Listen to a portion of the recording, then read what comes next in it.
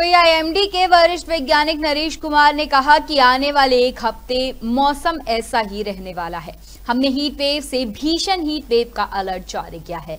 वही राजस्थान, पंजाब, हरियाणा में पाँच दिन, तीन से चार दिन हीट वेव का रेड अलर्ट और उत्तर प्रदेश, मध्य प्रदेश में हीट वेव का ऑरेंज अलर्ट जारी किया है। देखिए जनरली क्या है कि जो मई मंथ होता है, वो साल का सबसे गर्म महीना होता है।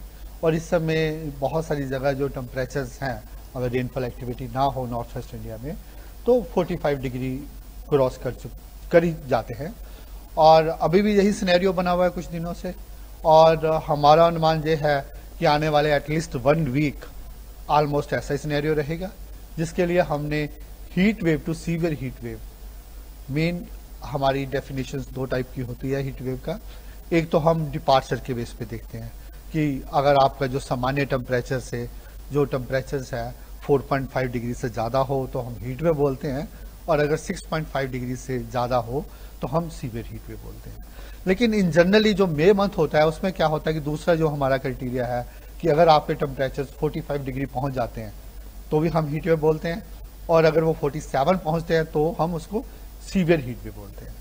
अभी जो सिनेरियो बना हुआ वो ऐसे ही है कि बहुत सारी जगह जो टेम्परेचर हैं 45 डिग्री से ज़्यादा है, इवन दोनों क्राइटेरिया सेटिस्फाई हो रहे हैं। जिसके लिए हमारा यही अनुमान है कि पाँच दिन राजस्थान स्पेसिफिकली वेस्ट राजस्थान पंजाब हरियाणा इसमें ऐसा ही सिनेरियो बना रहेगा, जिसके लिए हमने पाँच दिन वहाँ रेड अलर्ट दिया है। और जब रेड अलर्ट दिया है कि लोगों को बहुत सारी प्रोकेशन लेने की ज़रूरत है, इसका मीनिंग है कि जब दिन के टाइम जनरली उनको बाहर नहीं निकलना चाहिए। जब निकलते हैं, अगर मजबूरी है तो सीट ढक के निकलना चाहिए। और इसके अलावा फ्लूड का इंटेक ज़्यादा रखना चाहिए।